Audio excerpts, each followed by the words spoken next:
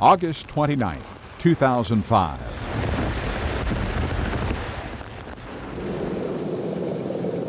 America suffers its most destructive natural disaster. Hurricane Katrina, a Category 3 storm, blows ashore in southeast Louisiana, forcing hundreds of thousands to evacuate.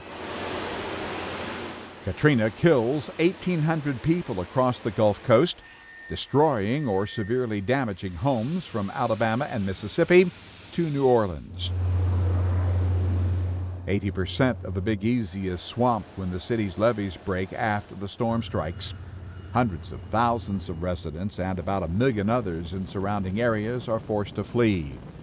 But Katrina's howling winds also drive thousands to the Superdome and to the New Orleans Convention Center for shelter.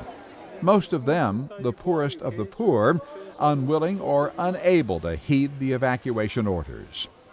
Looting and violence later break out in the city, where the initial sluggish response to Katrina only adds to the misery. We could go and help in Sadami, but we can't help our own people. We've been sleeping in the street for five days and nights.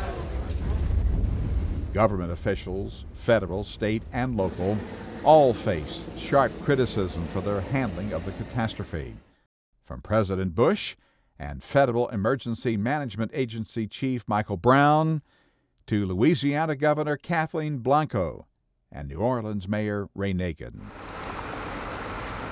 Despite some progress in rebuilding after Katrina, recovery for New Orleans and the Gulf Coast remains a long, hard road while debate over the disaster goes on. Today in History, August 29th. Ross Simpson, The Associated Press.